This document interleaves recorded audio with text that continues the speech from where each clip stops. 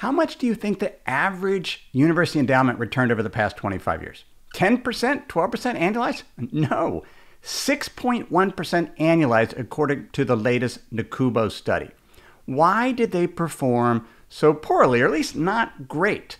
Well, it comes down to the returns of the stock market, which were not super high over the past 25 years. Let's take a look.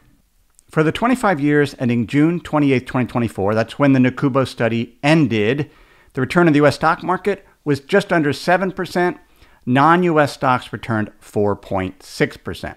Why were stock returns so low? Well, because starting valuations were so high 25 years ago in June 1999. Let's take a look at how expensive stocks were back then. In June 1999, the price to earnings ratio based on earnings over the previous decade, sometimes known as the Shiller PE, was 32 for the World ex US Stock Index. Remember, it returned less than 5% over the next 25 years because its valuation fell to less than 17.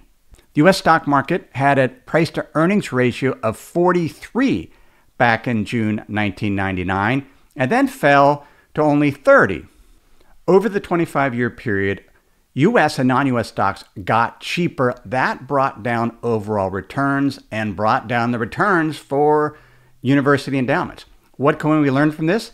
Starting valuations matter. When valuations for stocks or other asset classes are high, subsequent returns are lower, even over multi decade periods. So we need to be aware of what valuations are and adjust our expectations for returns accordingly.